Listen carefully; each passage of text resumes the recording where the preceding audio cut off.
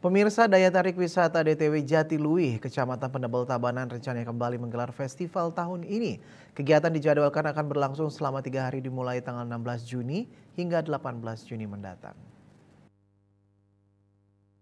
Manajer DTW Jatiluwih, Imade Sutirtayasa mengungkapkan saat ini jadwal rencana kegiatan Festival Jatiluwih sudah masuk dalam kalender event Provinsi Bali yang akan digelar pada Juni mendatang.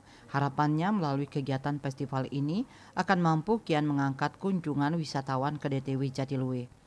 Tahun ini ajang festival konsepnya hampir sama seperti kegiatan pada tahun sebelumnya, yakni melibatkan masyarakat desa Jatiluwih, STT, kelompok subak hingga kalangan anak-anak untuk meramaikan kegiatan.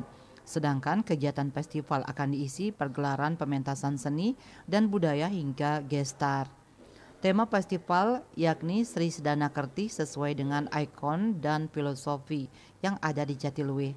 Tema tersebut diimplementasikan dengan membuat dua patung yakni patung Dewa Sedana dan patung Dewi Sri berukuran besar berbahan dari anyaman bambu dengan tinggi mencapai 5 meter.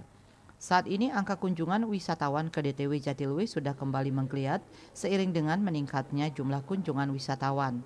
Per hari rata-rata angka kunjungan wisatawan total mencapai 800-an dan mengalami penambahan pada akhir pekan.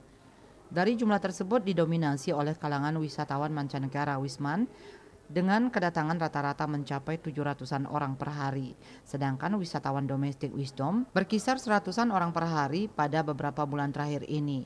Meski angka kunjungan wisatawan ini mengalami peningkatan, namun jumlah kunjungan wisatawan saat ini masih belum menyamai posisi normal seperti pada masa sebelum pandemi lalu.